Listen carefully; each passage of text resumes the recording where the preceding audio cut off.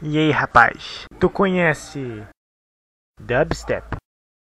Ah. Uh... Dubstep?